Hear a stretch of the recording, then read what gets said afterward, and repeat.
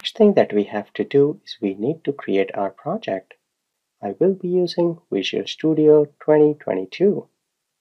Here we have the recent projects on the left and on the right hand side we will get started.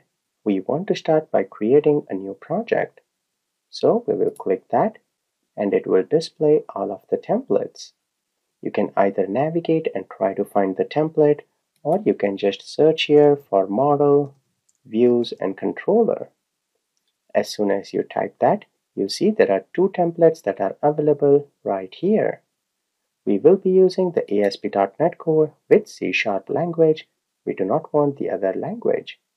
So select the C Sharp language or ASP.NET Core web app and we have model, views and controller. Let's hit the next button and we have few more options that we have to configure. Before writing the project name, we can give our solution a meaningful name. So let's say we are making our project for bulky book and in there you can have multiple projects like there can be data access layer, that can be business layer, that can be web layer and so on. So solution name, we can keep that as bulky book. And then the project name, let's call this bulky book web. That way you can keep the project name and the solution name separated. Let me change the location to where I want to save on my computer and we will hit the next button.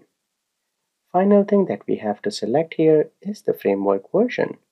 We will be using .NET 6 so we will select that in the first option. Next, we have authentication type.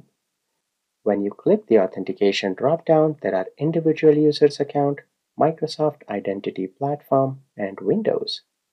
Right now, we want to keep things simple and understand the basic folder structures of when an empty .NET Core MVC project is created. So we will select None inside the authentication. We will keep the configure for HTTPS selected.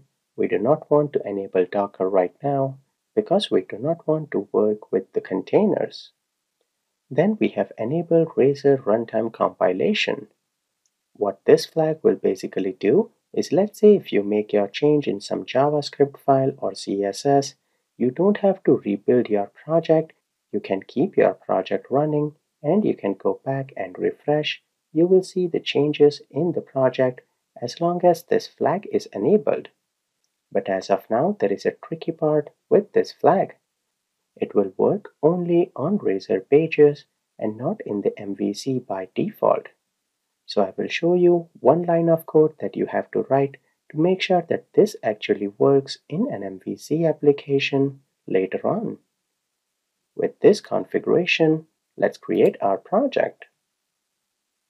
It will take a while, but it will create the project and it will load all of the files and folders. Great!